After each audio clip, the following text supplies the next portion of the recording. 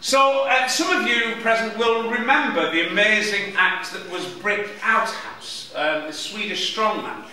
Uh, Bric Outhouse hasn't performed his act for a number of years due to ill health, but in uh, true showman tradition, Bric Outhouse has uh, passed that um, the legacy of his performance and indeed his act on to his son.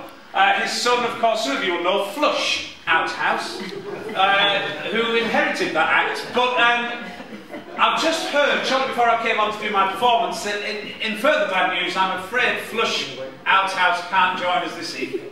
Uh, I know a lot of you will be devastated, but uh, every uh, cloud does have a silver lining. So in good news, Bric Outhouse himself, the Swedish strongman, has agreed to come out of retirement. Now, some people ask, uh, with regard to this act, how does he do it? Some people want to know why does he do it? Some of you will probably consider putting the first two nines into the fold, given his delicate age, considering the performer you're about to see is almost as old as the combined ages of the three birthdays we're celebrating this evening.